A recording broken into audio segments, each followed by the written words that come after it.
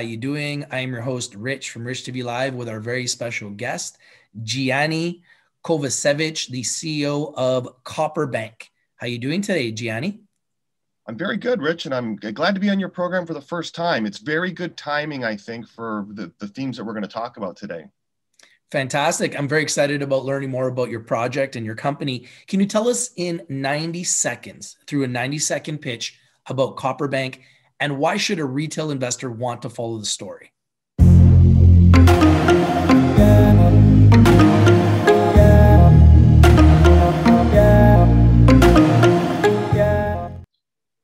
Well, Rich, I followed commodities for 25 years and they're very cyclical. But my background is in electrical studies. So I understand fundamentally what the Green New Deal is and how it works, which is why copper is going to be the single biggest beneficiary from this trade. And you're considered the copper guy. Why are you the copper guy? Well, I've, I've done a lot of media. I understand it. I've earned my position. I'm not a braggart. I have a best selling book to really enable people to have a five hour dinner with me. So my book is on Amazon. My electrician drives a Porsche. It's all about the electrician, has nothing to do with fast cars. So in 2017, I was invited to keynote the famed copper dinner in Santiago, Chile, in front of 5,000 people. Once again, I'm not a braggart, but I earned it. We know copper. My team has over 300 years of collective experience. We know anyone who is anyone in the copper business. We are one degree of separation from these people. So people should have a lot of confidence. We don't just go from trend to trend. I have followed copper and invested in a lot of copper deals. And this is our, our bear market buy was buying projects, putting it into one company so retail investors can participate in copper for this trend. And that company is Copperbank today. Now, investors are so fickle and there's so many ways to invest. There's crypto, there's stocks, there's gold, there's Forex, there's everything now these days. And there's the chance, like you just mentioned, for a potential 10x, maybe even a 3x. Why invest in Copper Bank now? Why not just wait? Well, it's been one of those stories. The, the whole electrification and invest in copper has always been next year's investment dollar no longer. The copper price today is climbed and keeps climbing. It's at three over three dollars and eighty cents a pound. Yet these juniors have not really had the big move. So let me be clear here. The oil and copper prices are, are highly correlated, and typically oil was the dominant commodity. Let's go back 20 or 30 years. But if you were to picture in the theater of your mind these two commodities trading up and down, copper at 380 a pound Rich, is like if oil was $115 a barrel. Wow. You imagine the euphoria that would be in the oil sector if that's where the commodity was? That's exactly where copper is. And it's going to trend higher. And there are many reasons why. It's, it's really the engineering. And you can now, rather than wait, I believe, a long period of time, the, the, the, the speculator interest in copper is coming to fever pitch. And that's the metal but now is going to come people, I, I believe people are going to start speculating on the on the junior stocks. And what we own is th- this portfolio of well-situated projects that have been adequately de-risked. And with the, the little bit of capital we're raising right now, I think is going to add a, a real turbo drive into various initiatives that we have. And that's what we're going to talk about. Wow, that's great.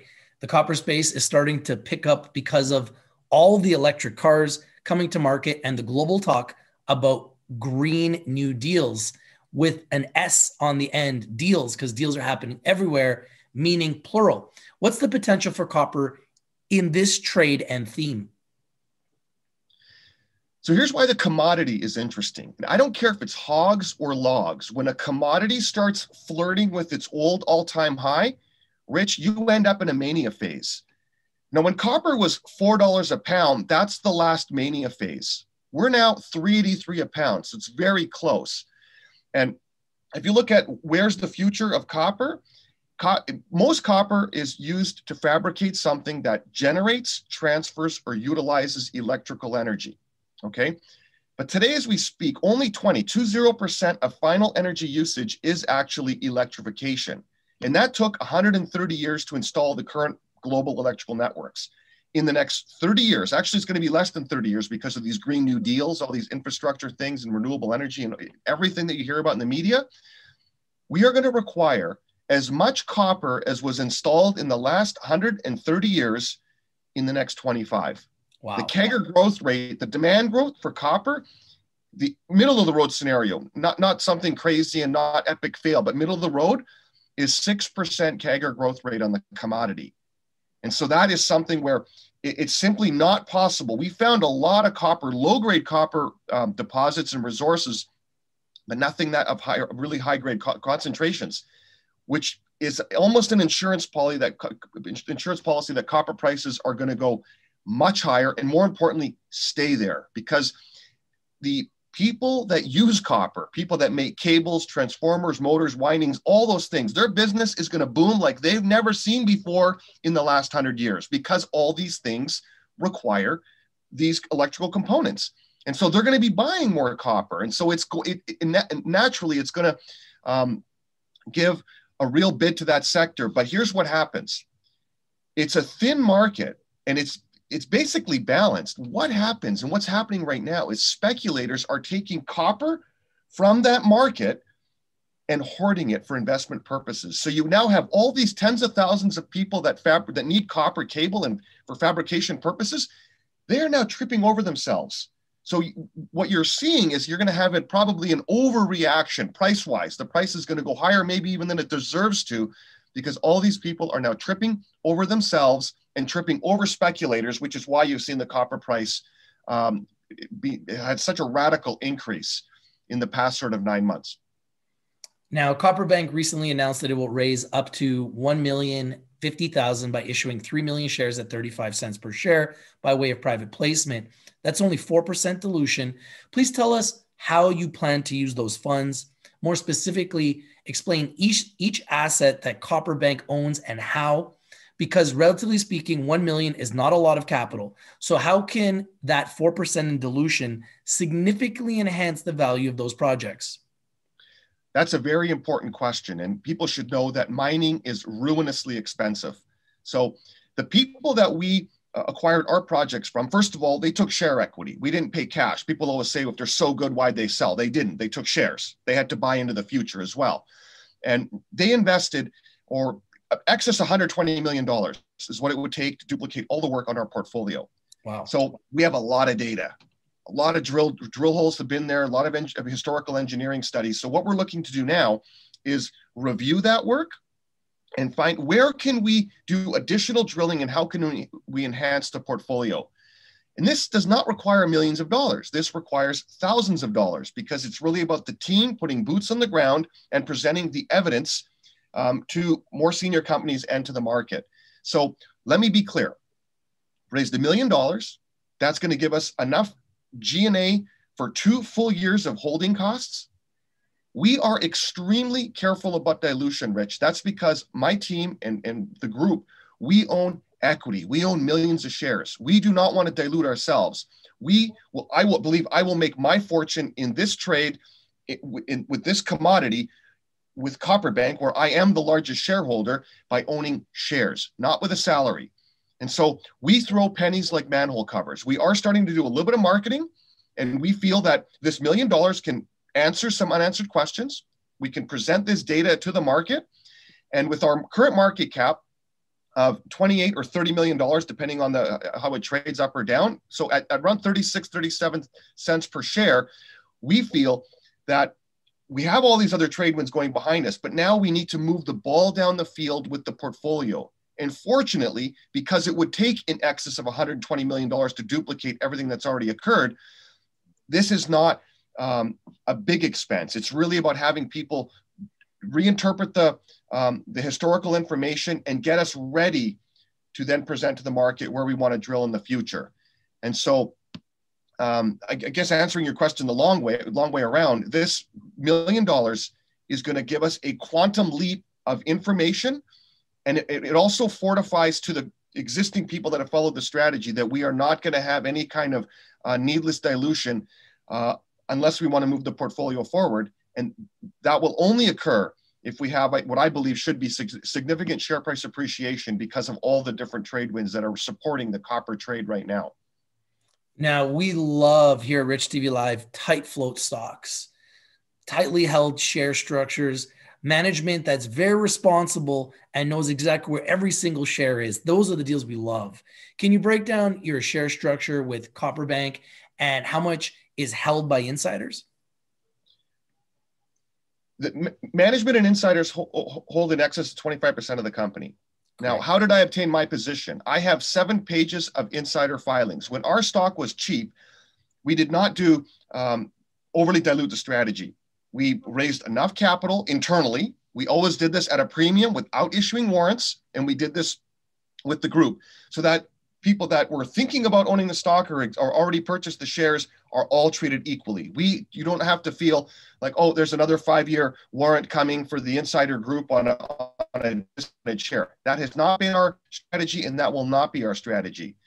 So when when the stock was cheap, rather than do these kind of fortuitous financings, we bought the stock. I have seven pages of insider filings, and that is predominantly how I was able to obtain my position, supporting the company with these above market financings and my seven pages of insider filings.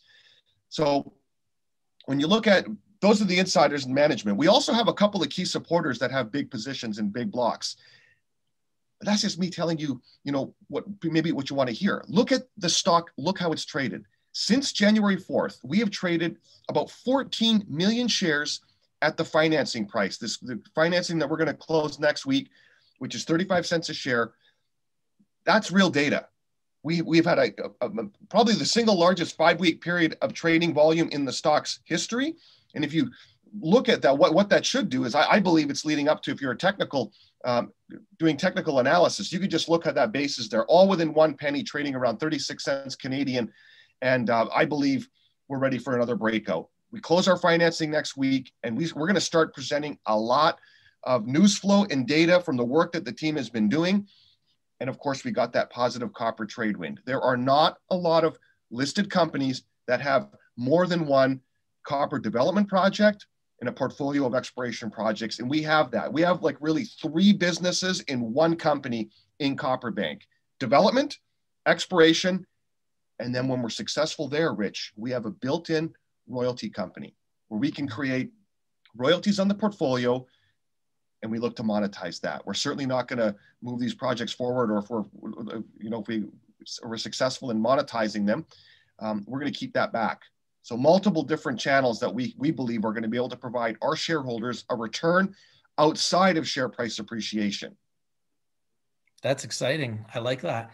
If there was one thing you would want shareholders to know about your company, what would it be?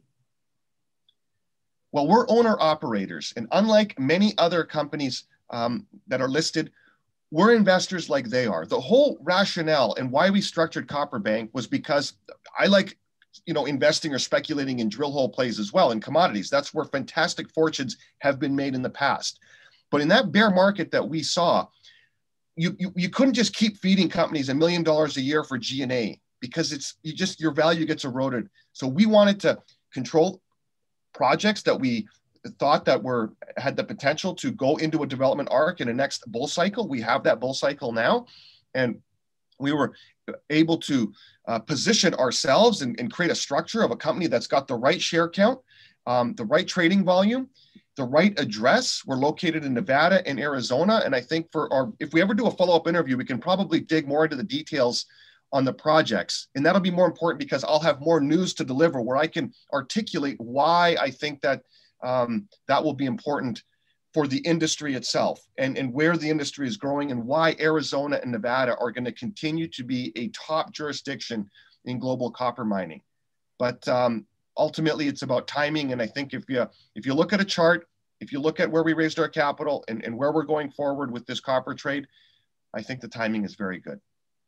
I agree with you. I think the timing couldn't be better. If you guys like this video, please smash the like button, comment down below, share the video everywhere. Remember, Rich TV Live is strictly for education and entertainment purposes. Past performance is not an indication of future results. My opinion on this stock, I think it's undervalued, underappreciated, underexposed. It's the first time we've ever talked. It's the first time our community's ever seen this pick. And based on what you're telling me, Gianni, I think the upside in the future looks bright. Thank you for joining us today, Gianni Kovacevic, the CEO of Copperbank. Hope you have a great day, and thank you guys for watching. Thank you, Gianni. Thank you. Thank you.